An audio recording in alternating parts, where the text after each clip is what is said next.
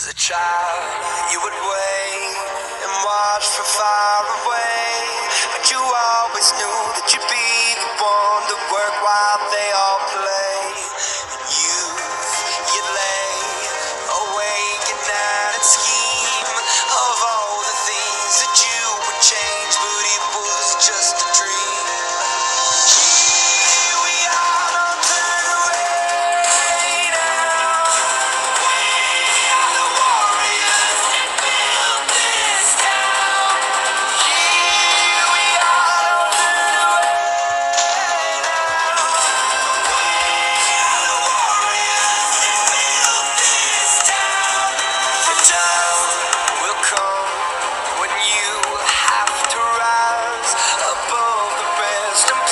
yourself, your spirit never dies.